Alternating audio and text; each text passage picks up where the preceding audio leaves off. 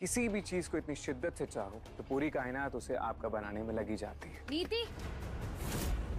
माता रानी की मर्ज़ी है कि जोड़ी मेरी हल्दी के रंगों से नीति का चेहरा हुआ खराब। नीति को हुई एलर्जी। राजिफ ने परी से किया इश्क इजहार। एक बार फिर से राजिफ ने अपने गालों से परी के गालों में लगाया शगुन की हल्दी। राजिफ ने सबके सामने परी को बनाया। अपनी पत्नी शगुन के नाम पर रस्में पूरी करते आया नज़र।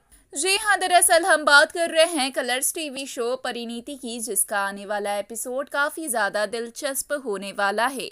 जहाँ शो के अपकमिंग ट्रैक में हम देखेंगे कि किस तरीके से नीति की हालत हल्दी की वजह से खराब हो जाती है। नीति के चेहरे पर काफ़ी बड़ा दाग बन जाता है और साथ ही साथ नीति को हल्दी से एलर्जी भी हो जाती है, जिससे नीति काफ़ी ज़्यादा परेशान हो जाती है। तो वहीं पर दूसरी तरफ़ राजिफ इसे एक बड़ा इशारा समझता है और परी से कहने लग जाता है कि भगवान भी चाहते हैं कि राजिफ और नीति की नहीं, बल्कि परी और राजिफ की शादी हो। जहाँ पर परी ये सुनकर काफ़ी बुरी तरीके से शॉक रहती है तो वहीं पर राजिफ ये धमकी देता है परी को, वो कि किसी भी तरीके से नीति के साथ शादी तोड़ेगा और परी के साथ ही शादी करेगा। सभी घर वालों के सामने अपने इश्क का इजहार करेगा।